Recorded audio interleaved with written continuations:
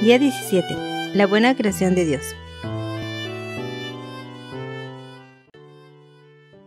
¿Ha pues Dios creado a los hombres tan malvados y perversos?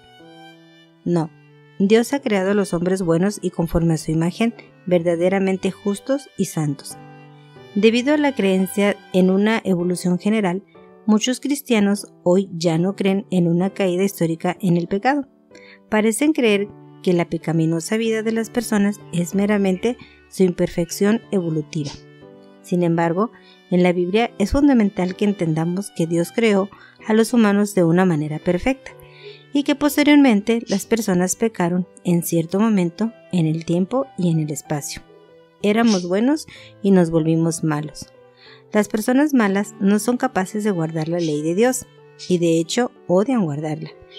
Ello se debe a que su naturaleza se ha vuelto malvada y perversa, como lo dice nuestro texto. Qué gran enunciado es este.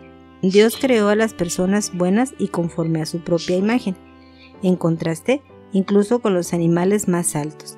La humanidad exhibía originalmente la imagen mental y moral de Dios. Génesis 1, 26, 27, 9, 6. Hemos aprendido qué es santo y justo a la mala llegando a familiarizarnos completamente con la injusticia y la impiedad.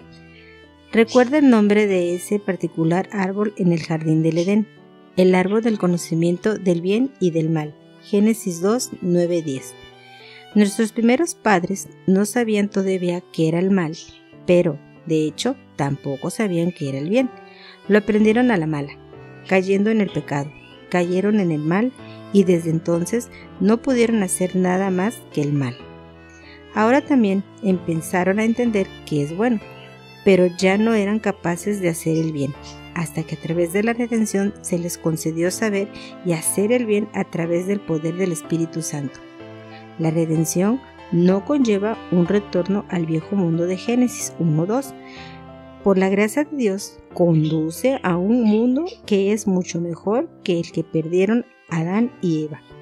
Un mundo en el que tendremos una naturaleza que ya no podrá pecar.